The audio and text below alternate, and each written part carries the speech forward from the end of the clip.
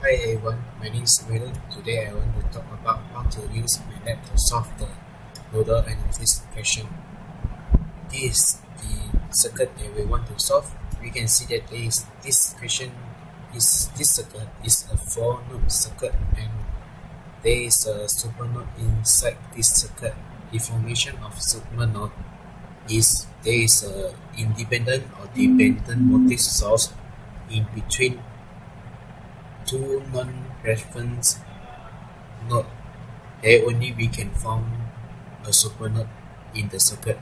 And to solve supernode uh, supernode problems, we have to produce two equations. One is supernode equation, and the other one is the is the support equation. Next, we have to transfer all the information by using manual, manual calculation. Then this is all the calculation and we have to transfer all the equation into the matrix form. Here I have already transferred the matrix into the into the MATLAB. Y is the matrix in the most front of this equation and the I is the last part of the matrix equation. And by using the equation V equals to inverse uh, matrix Y times I we can find the answer for for the alpha node. Now, let's run the program. Here is the answer we get from MATLAB and this is the answer we get from manual calculation. And the answer both answers are the same. Next is mesh and mesh analysis circuit and this circuit will explained by my partner. Hi everyone, now I will continue I will continue to show you all how to solve the electric circuit analysis using MATLAB. So just now, my partner is already show you all how to solve the mesh nodal analysis using MATLAB. So uh, I will continue it to show you all how to solve the mesh analysis using MATLAB. So first of the question that given is this question is this question and is given the question of three loops and what they have to find is the current flow through the RB which is here and the power supply by the 10 volt voltage source is here. So to find the current flow to RB we have to find out the current flow through each loop. So to solve it we have to find out the three current first so we have to redraw the diagram and label each loop with I1, I2, and I3. Then we have to express the equation. And this is the equation that we obtain from loop 1.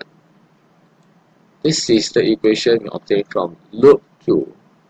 And this is the equation that we obtain from loop 3. After we obtain the equation from 3 loop, we have to convert it into a matrix form. This is the matrix form that we have converted. Why you have to convert it to matrix form? This is because in the MATLAB, we cannot straight away enter the equation because the system are cannot detect it, so they only can detect it using matrix form. So we have to convert it into matrix form. So next we have to go to the program. So this is the code I have typed before. So we have to let the x be the first part of the matrix which is this one and the y as the second part of matrix we has this one. So we have to inverse the x so we can straight away multiply the x inverse x to y to get the current of each loop. The equation is i equal to z multiplied by y. So after we run the program we obtain that the I1 is 0.4753 the I2 is 0.1975 the I3 is 0.2345 ampere. So after that what is the main point is coming is the question required to find the current flow through the RB which is IRB and how we have to find it? We have and found we have to find the current flow through IRB Actually, it is easy. We just have to mark minus I3 minus I2, which is the current that we obtained from the previous equation. After that, we will obtain the answer, which is 0.0370 ampere. And the last part is the power supplied by the 10 watt voltage source. So the equation that we have to use is P equal to VI. Since the voltage source is in the loop 1, so we have to use the current in the loop 1, which is I1. So by using the equation, the value that we obtain is 4.753 watt. So this is the answer that we obtained using MATLAB. That's all. Thank you.